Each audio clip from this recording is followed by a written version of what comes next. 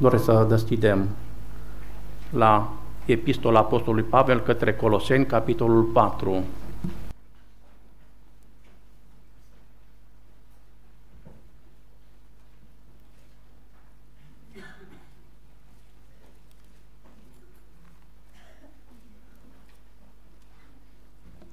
de la versetul 2.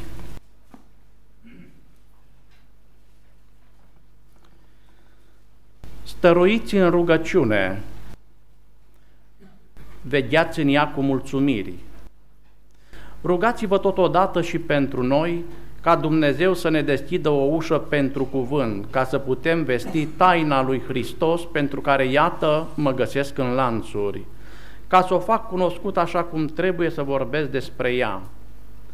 Purtați-vă cu înțelepciune față de cei de afară, răscumpărați vremea, vorbirea voastră să fie totdeauna cu har, dreasă cu sare, ca să știți cum trebuie să răspundeți fiecăruia. Tot ce este cu privire la mine vă va spune Tihic, fratele prea iubit și slujitorul credincios, tovarășul meu de slujbă în Domnul. Vi l-am trimis în adins, ca să luați cunoștință despre starea noastră și să vă mângâie inimile.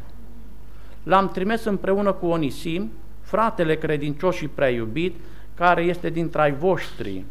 Ei vă vor spune tot ce se petrece pe aici. Aristarh, tovarășul meu de temniță, vă trimite sănătate. Tot așa și Marcu, vărul lui Barnaba, cu privire la care ați primit porunci. Dacă vine la voi, să-l primiți bine.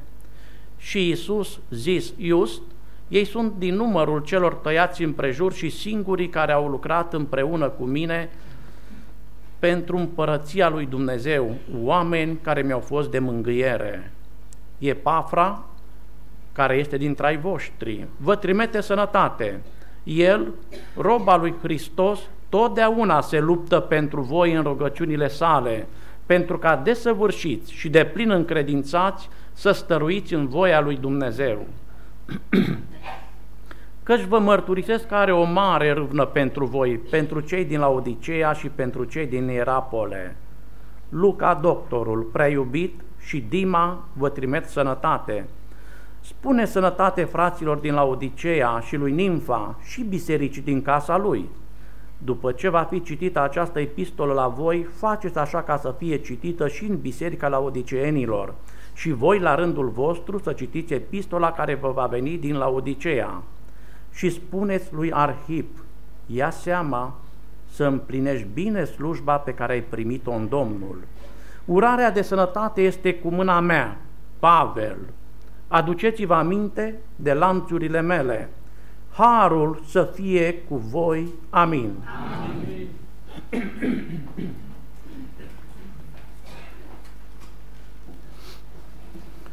Am încercat să parcurgem această epistolă către Coloseni și iată că în dimineața aceasta am putut să parcurgem și acest final al scrisorii Apostolului Pavel pe care o face din închisoare de la Roma către credincioșii din Colose. Ne aducem aminte că este vorba de o biserică tânără, de frați credincioși răscumpărați prin același sânge al Domnului Isus Hristos, prin care și noi suntem uh, răscumpărați, spălați și înfiați pentru slava lui Dumnezeu. De la versetul 2 la 6 sunt îndemnuri pentru adunare, pentru biserică, pentru credincioși și în continuare de la 7 până la final, versetul 18, uh, sunt uh, lucruri cu caracter informal, lucruri de inimă, lucruri cu specific personal. Este un lucru bine știut între noi credincioșii. Nu dăm pe deasupra în ceea ce privește tocirea genunchilor noștri înaintea Domnului Isus Hristos măcar că forma de închinare, de rugăciune uh, diferă. Uh, Scriptura ne stă mărturie în privința aceasta, însă conținutul trebuie să fie același totdeauna persoana slăvită a Domnului Isus Hristos, așa cum suntem îndemnați și în capitolul 3 din versetul 17, mă uit pe versetul acesta, putem să o facem toți chiar acum, și orice faceți, cu cuvântul sau cu fapta, să faceți totul în numele Domnului Isus și mulțumiți prin El lui Dumnezeu Tatăl. El trebuie să fie totdeauna în, înaintea privirilor noastre și anume Domnul Isus Hristos, cum a fost și în dimineața aceasta, aducându-ne aminte de moartea Lui, de suferințele Lui, de jertfa Lui. Dar nu numai atât. Trebuie totdeauna să avem înviere atât moartea cât și învierea. Fără aceasta n-am fi fost aici, am fi fost pierduți pentru totdeauna. Stăruiți în rugăciune. Scriptura învață atât în Vechiul Testament cât și Noul Testament nevoia aceasta a omului de a se prezenta înaintea Creatorului.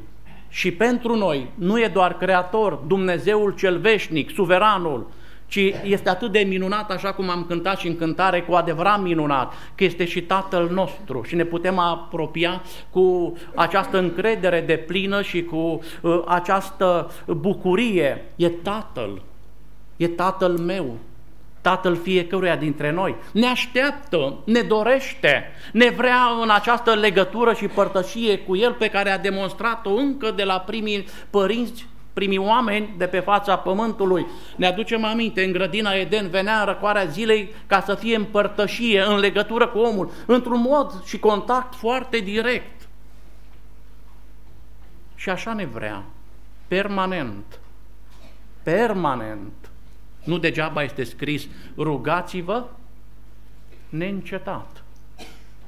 Nu, nu avem lucruri noi de spus în privința aceasta, măcar că sunt cărți întregi scrise uh, cu privire la rugăciune. Voi mai sublinia și eu câteva aspecte, uh, nimic nou, dar doresc ca să fie totuși nou prin Duhul Domnului Isus Hristos și să fim motivați să facem ceea ce ne învață și Domnul Isus Hristos. El însuși ne dă acel exemplu frumos și motivator în Luca 18, începând cu versetul 1, ca să stăruim în rugăciune și să nu ne lăsăm. Și suntem învățați tot de el să veghem și aici iară și Apostolul Pavel care calcă pe urmele Domnului Isus Hristos ne, ne îndeamnă. Fiți perseverenți, fiți stăruitori, nu vă lăsați, nu încetați și nu numai atât, și vegheați, fiți atenți, fiți treji, este atât de necesar pentru fiecare dintre noi această stare de veche în rugăciune, stare de veche în părtășie cu Domnul nostru Isus Hristos. Este esențială pentru fiecare dintre noi rugăciunea, prezentarea aceasta în Duhul, oriunde și oricând, înaintea lui Dumnezeu Tatăl. Nu putem vorbi oricând. Dar putem în orice loc, prin Duhul, să avem această legătură de inimă cu Tatăl nostru prin Domnul Isus Hristos. Ea stă, rugăciunea, stă la baza părtășiei noastre cu Domnul Isus, cu Tatăl, dar nu-i mai puțin adevărat că rugăciunea stă și la baza relațiilor noastre, în familie, în adunare, în societate. Este atât, iată, de, de important să învățăm, să comunicăm pe verticală. Când ne întâlnim, suntem diferiți, unii mai vorbăreți, alții mai puțin vorbăreți, oricum comunicăm și spunem multe. De multe ori și multe care nu sunt necesare. Dar în ceea ce privește în întâlnirea noastră cu cerul, cu slăvitul Domn suntem, cred că, mult mai rezervați, mai închiși, mai tăcuți. Iar cerul spune nu. Domnul Iisus Hristos spune nu. Eu vreau să fiți deschiși așa cum sunteți. Nu greșim noi de multe ori în rugăciunile noastre. Degeaba este scris că nu știm cum trebuie să ne rugăm.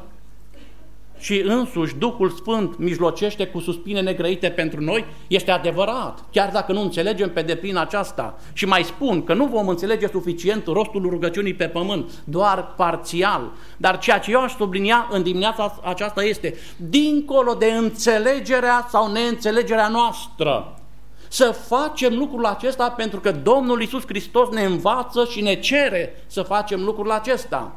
Și iată ce vreau să mai subliniez că dincolo de cât pricepem noi și putem să ne rugăm într-un mod mai corect sau mai puțin corect, așa cum suntem.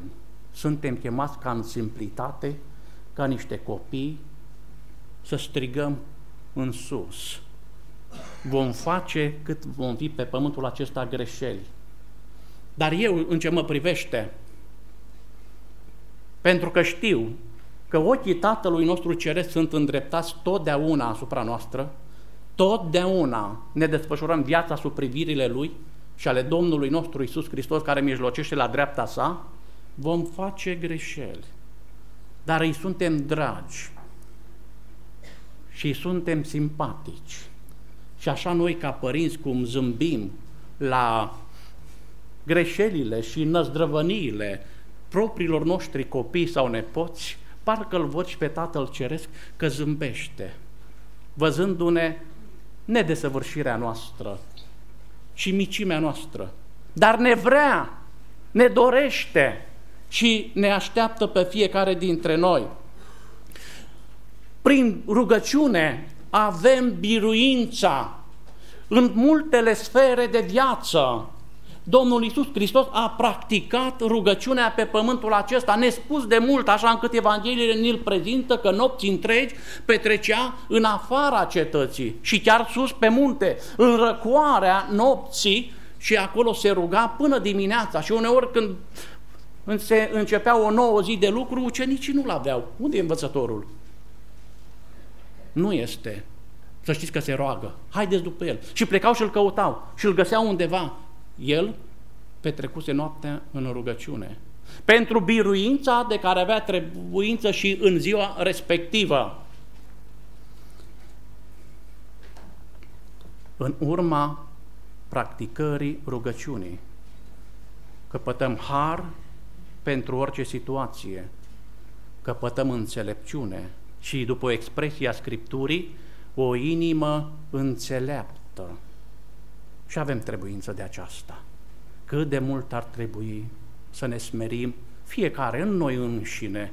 Nu e nevoie de această afișare a unei smerenii, că de multe ori este falsă și în realitate aceasta înseamnă mândrie, dar în tăcere în inima noastră să ne prezentăm în acea atitudine de neputință. Pentru că, pe de altă parte, rugăciunea scoate în evidență micimea noastră, neputința noastră, nevoia după cineva cu mult mai măreț și mai mare decât noi să ne sprijinească, să ne ajute și în urma acestei stări, sigur că vin și binecuvântările sau nu vin binecuvântările în viața noastră.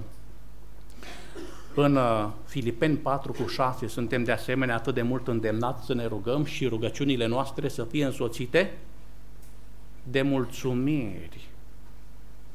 Nu de cârtiri, nu de cârtiri, nu de acea atitudine de îngrijorare, de frământare, de agitație, nici de cum, de mulțumire. Să putem să mulțumim Domnului Isus Hristos pentru ceea ce urmează să ne ofere. Să putem să avem acea inimă liniștită și în pace, adică încrezătoare că El ne aude și răspunde potrivit cu voia Lui, potrivit cu înțelepciunea Lui, potrivit cu suveranitatea Lui. A ne ruga, repet, înseamnă a comunica neîncete, neîncetat cu divinitatea, cu Creatorul, cu slăvitul nostru Tată prin Domnul Isus Hristos. El în felul acesta se angajează și Scriptura stă mărturie în privința aceasta, să ne influențeze într-un mod pozitiv intelectul nostru, voința noastră,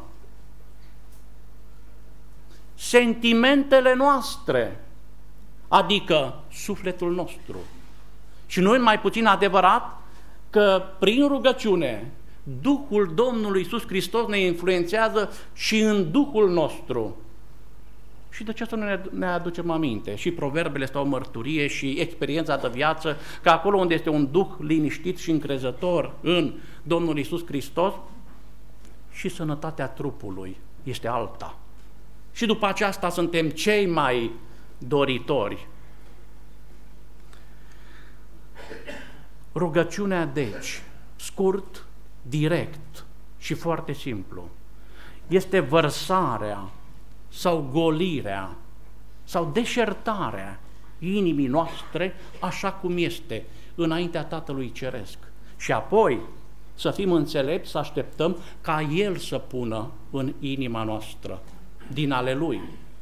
Ce minunat este ca aceste frământări și griji și chiar îngrijorări pe care Scriptura le numește prin Domnul Isus Hristos păcat, să le putem lăsa jos, să ne putem goli de acestea și să îi putem permite Domnului Isus Hristos ca prin Duhul Sfânt să toarne în noi, prin Duhul Său cel Sfânt, din Harul Său, din ceea ce are El în inima sa. Și în primul rând, El ce are? Are laudă pentru Tatăl. A venit pe pământul acesta să-L proslăvească pe Tatăl. Și aceasta o spune la sfârșitul lucrării sale în rugăciunea din Ioan 17. Și noi suntem chemați tot pentru aceasta. Pentru aceasta am fost creați și mântuiți, ca să trăim pentru proslăvirea numelui celui veșnic, a Tatălui nostru ceresc.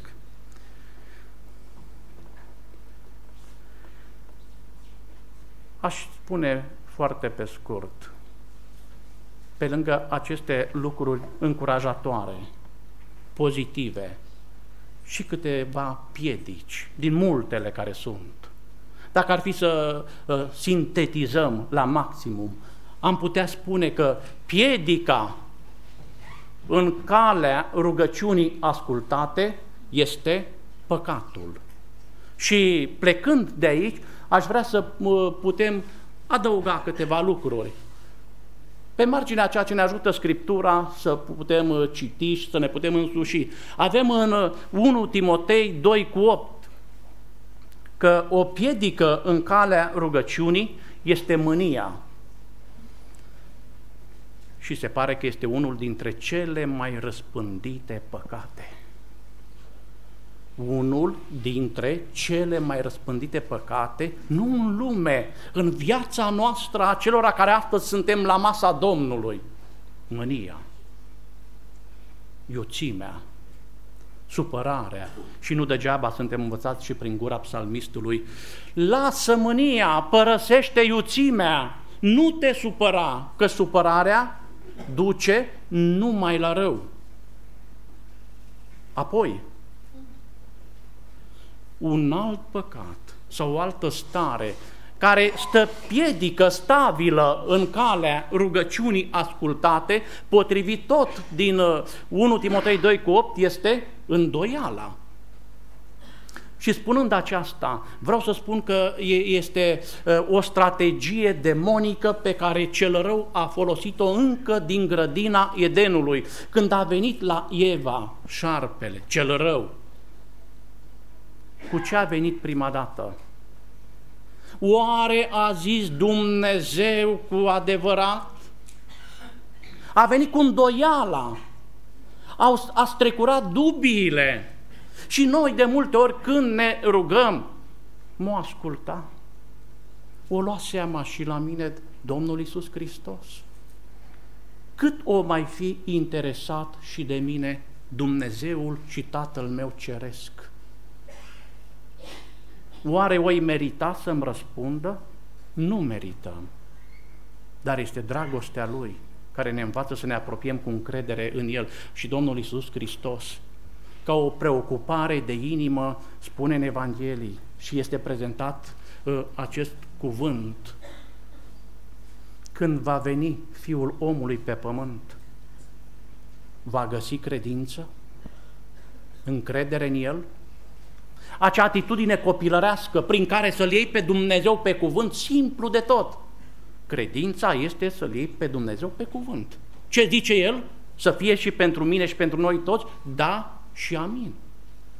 Fără să gândești, punând alte lucruri înainte, care țin de îndoiala celui rău. Și Iacov ne învață la rândul lui același lucru, cine se îndoiește se aseamănă cu acel vas sau acea corabie uh, mânată de vânturi într-o parte și într-alta. Un astfel de om să nu se aștepte să capete ceva. Mâini curate sau mâini necurate o piedică mânia, îndoiala, și iarăși, care mi se pare între lucrurile de seamă, cum ne învață uh, și Apostolul Petru în antia sa epistolă 3 cu 7, relația dintre soț și soție. Relația dintre soție și soț. Și în primul rând este pusă acolo relația dintre soț și soție cât de mult trebuie să fim atenți la cuvântul Domnului Isus Hristos pentru ca viața noastră să fie curățită, sfințită și atunci când deschidem gura înaintea Lui acasă și în adunare să știm că suntem ascultați fiecare dintre noi. Altă piedică o găsim și este prezentată de psalmist în psalmul 66 cu 18 și el face o mărturisire pentru noi cei care suntem aici. Dacă aș fi cugetat lucruri nelegiuite în inima inima mea.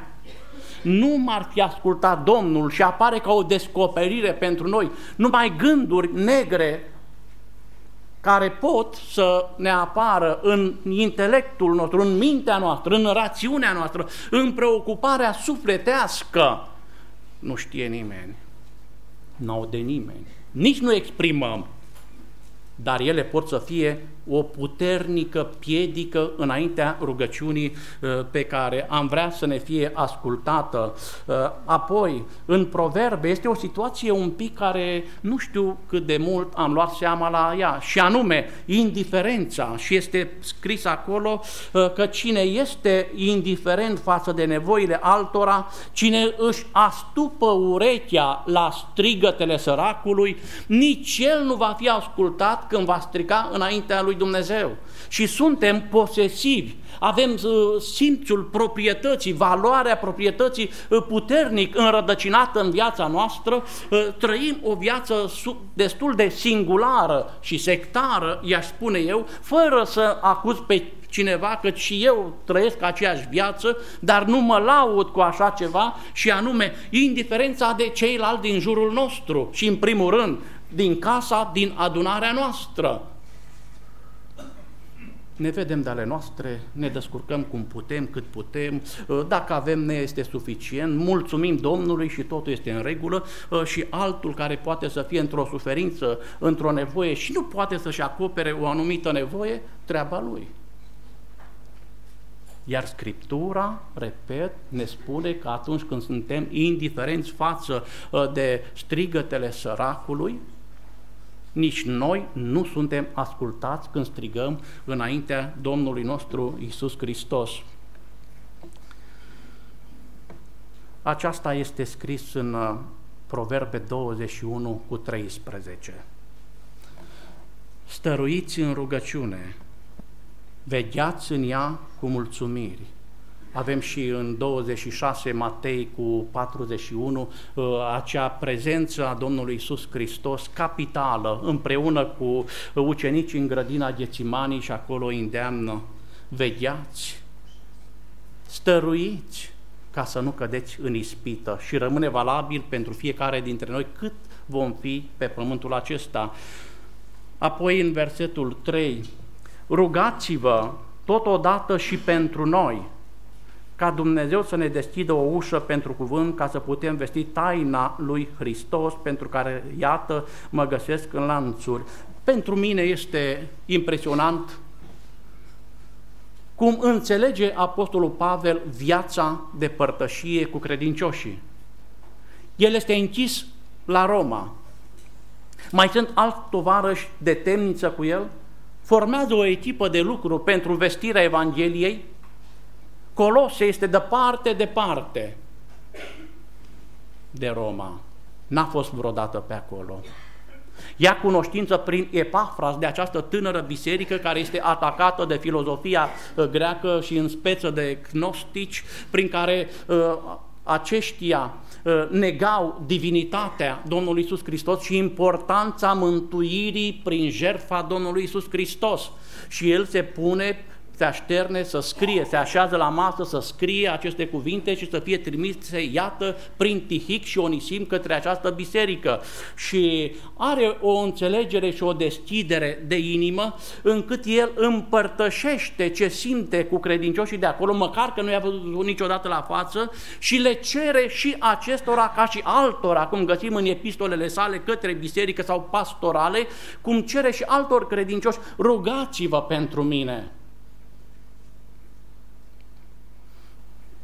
Suntem și noi. În vremea aceasta de la urmă, avem și noi anumite relații în frățietate, prin vizitele pe care le facem în diferite biserici și toți ne mai mișcăm aici și acolo cât un pic, dar nu cunosc o așa legătură de inimă și o înțelegere că trebuie să apelăm într-un mod deschis, fraților, rugați-vă pentru mine ca Domnul să mă poarte în carul lui de biruință, atunci când deschid gura, să, să pot să vestesc așa cum trebuie uh, taina lui pe Hristos, Domnul și mântuirea sa. Uh, și între noi, cu atât mai mult, cei care suntem aici, dacă am înțelege, uh, să ne rugăm. Și surori și frați, suntem îndemnați. Și vă îndemn și eu, rugați-vă pentru cei care se ridică să spună un cuvânt, ca să fie prin Duhul Sfânt și nu printr-un efort firesc pe care încerc puțin mai apoi să îl prezint înaintea noastră. Rugați-vă totodată pentru noi ca Dumnezeu să ne deschidă o ușă.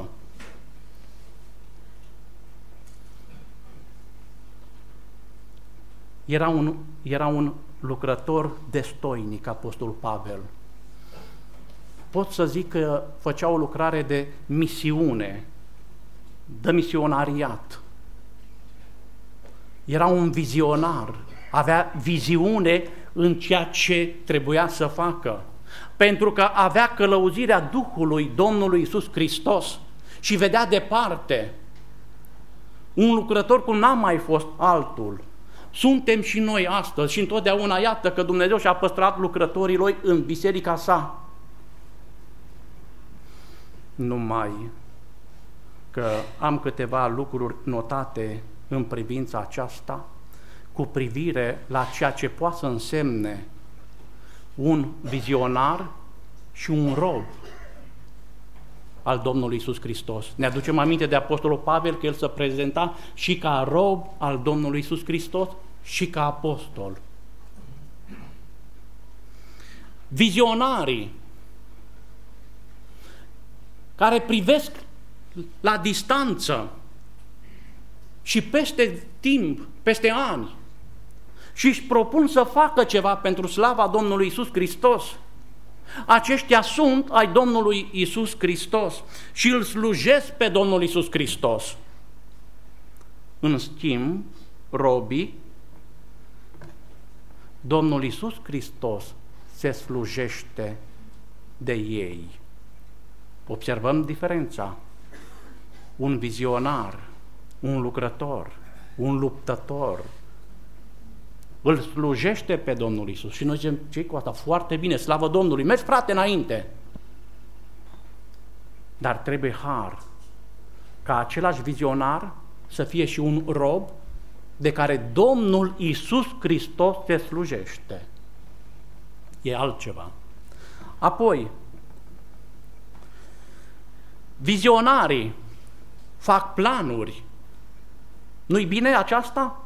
Spunem bine și nici eu nu neg. Însă, robii acceptă planul stăpânului. Vizionarii sunt ambițioși, forțează uși, se zbată, se luptă, se frământă.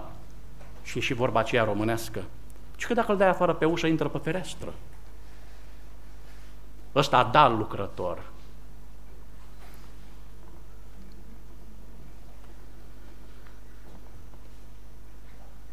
Robii fac ce a făcut Apostolul Pavel. Se roagă și așteaptă ca Domnul Isus să deschidă ușa. Și el aceasta cerea. Rugați-vă ca să ni se deschidă o ușă pe care să intrăm, nu eu să deschid uși.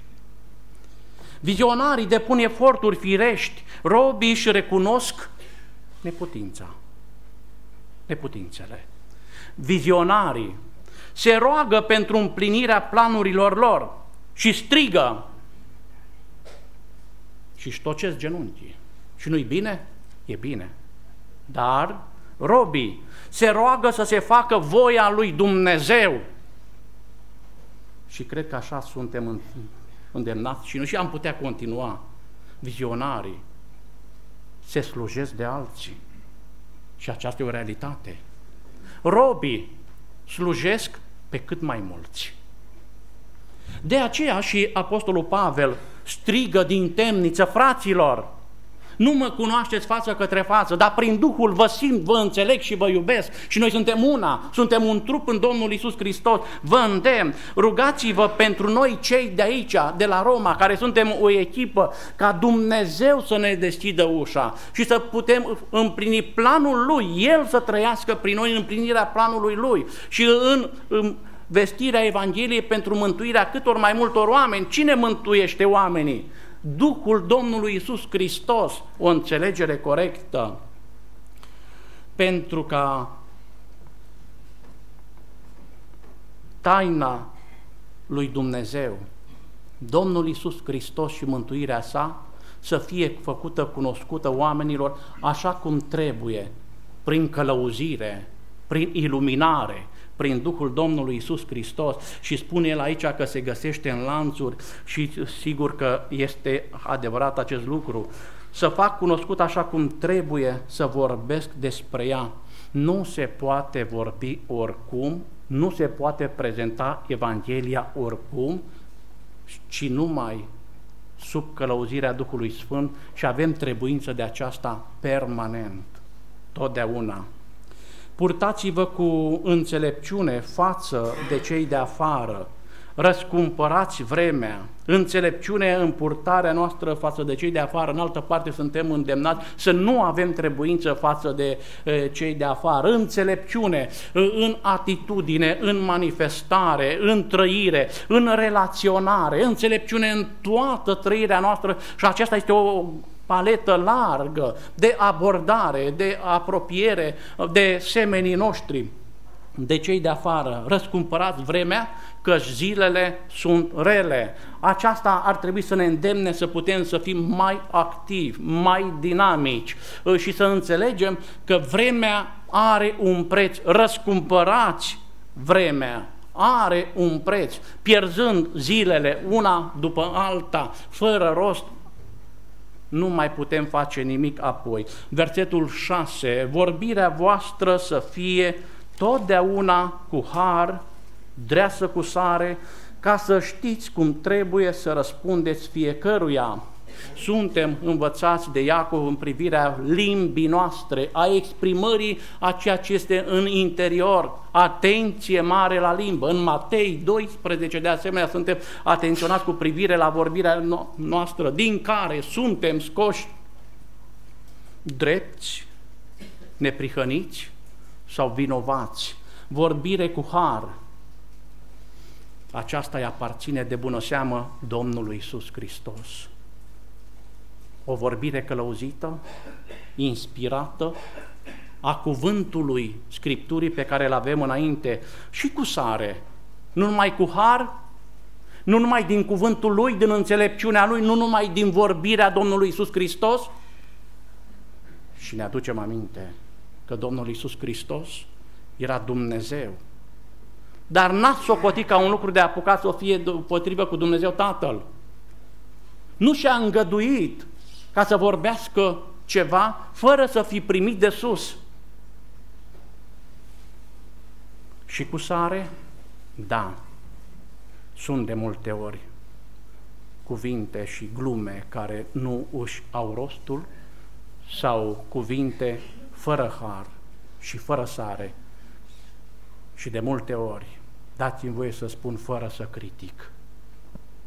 mărturisesc, o spun cu mâhnire de inimă, prea multe acuzații între creștini, acuzații fără temei și jigniri. Nu este nici har, nici sare. Adică nu sunt din cuvintele Domnului Isus Hristos și nu sunt cuvinte alese, curate, care să fie cu gust, care să meargă la inimă, ci au ceva stricat în ele acele cuvinte. De aceea suntem făcuți răspunzători ca să putem să ne relaționăm într-un mod corect și așa și față de cei de afară. Și apoi urmează de la versetul 7 aceste uh, cuvinte cu un caracter personal și uh, destăinuie sau ne face cunoscut atât de, de mult ceea ce avea în inimă Apostolul Pavel uh, și anume această relație cu frații aceștia din Colose. Tot ce este cu privire la mine, tot ce este cu privire la mine. Vă va spune Tihic, fratele preiubit și slujitorul credincios, tovarășul meu de slujbă în Domnul. Și dacă suntem atenți la Apostolul Pavel, în tot ceea ce noi citim acum, am citit și vom citi încă, sunt cuvinte alese cu har și cu sare. Vi l-am trimis, vi l-am trimis în adins ca să luați cunoștință despre starea noastră și să vă mângâie inimile. Ce urmărește Pavel? O mângâiere a celor de afară, o îmbărbătare a celor de afară. El nu avea ceva de genul nevoie uh, acolo în temniță? N-a cerut să se roage pentru el. N-a cerut fraților din Colose, fraților rugați-vă să ni se deschidă și nouă ușă să ieșim afară de aici, cum s-a deschis și pentru Petru, găsim în, în fapte uh, 12, uh, s-a deschis ușa și a ieșit afară din temniță. Intervenția miraculoasă a îngerului lui Dumnezeu. El nu cere o ușă deschisă, nu ce, uh, ca să iasă de acolo, să iasă din lanțurile acelea și din condiția aceea uh, destul de dificilă. Nu a cerut nici mângâiere. El cere voia lui Dumnezeu și mângâierea fraților. Nu se gândește la sine, este omul care trăiește pentru alții, trăiește pentru Domnul Isus Hristos și biserica sa. De aceea, sigur că și rugăciunile lui au fost ascultate uh, totdeauna. Aristarh era din Tesalonic și cu ocazia acelei răzmelice, o găsim în fapte, uh, în Iefes cu argintarul Dimitrie, a fost preluat și acest credincios deosebit Aristar și întemnițat. Și se pare că este un uh, tovarăș de temniță, închis împreună cu apostolul Pavel. Uh, tovarășul meu de temniță vă trimite sănătate tot așa și Marcul, vărul lui Barnaba, ce frumos că îl întâlnim, uh, știm incidentul acela nedorit între Pavel și Barnaba uh, și Marcu este refuzat uh, și sunt motive temeinice pentru acea, acea hotărâre a apostolului Pavel, dar după o vreme Harul Domnului Iisus Hristos a lucrat și în, în Marcu și este recuperat și este un evanghelist și ne lasă și o evanghelie. Și apostolul Pavel îi spune uh, și lui Timotei să știi că, de, că Marcum este de trebuință, găsim în 2 Timotei această afirmație. Și aici este prezentat, dacă vine la voi frați coloseni, să-l primiți bine, merită, este un credincios în Domnul. Este o reabilitare dorită și pentru noi cei care suntem aici. Și Iisus zis just, un credincios al cărui nume Just înseamnă uh, cel drept, încă un om de apreciat din echipa apostolului Pavel și este această mărturisire că aceștia sunt singurii dintre evrei dintre cei tăiați împrejur, care au făcut echipă cu mine și lucrează pentru înaintarea Evangheliei. Nu erau și alți credincioși la Roma, nu erau și în Imperiul Roman, nu erau și în depărtare uh, până în Iudeea alți credincioși, ba da, dar Apostolul Pavel face mențiunea aceasta și nu degeaba. Ei sunt singurii care au lucrat și lucrează cu mine pentru înaintarea Evangheliei. Sunt mulți lucrători. Erau atunci, sunt și astăzi. Dar nivelul acesta pe care îl dorea, nivelul acesta spiritual, calitativ pe care îl dorea Apostolul Pavel în, în uh, credincioși, era greu de găsit. Asta poate să ne pună și pe noi, pe fiecare, uh, pe gânduri cum ne raportăm în lucrarea la care suntem chemați. Epafra, care este dintre ai voștri, vă trimite sănătate, el rob al lui Hristos totdeauna se luptă pentru voi în rugăciunile sale, pentru ca desăvârșit și de plin încredința să stăruiți în voia lui Dumnezeu. Ne vom opri la versetul acesta 12? Doresc ca să putem uh, avea înaintea noastră ceea ce face omul acesta. Se pare că el învață de la Apostolul Pavel pe care l-a văzut că să lupta în rugăciunile sale, că lăuda și mulțumea lui Dumnezeu pentru toți credincioșii de pretutindeni și Pavel, ca om al rugăciunii, îl inspiră și, și îl motivează și pe Epafra să facă același lucru și nu oricum. El totdeauna se luptă în rugăciunile sale pentru voi. Totdeauna, iată, suntem chemați și noi să ne luptăm. Nu, pentru viața aceasta, pentru nevoile acea, acestea uh, între noi, nici de cum. Și să ne luptăm, lupta cea bună a credinței, pe genunchi, pentru sfințirea credincioșilor și pentru venirea Domnului Isus Hristos, care este curând. Amin. Amin.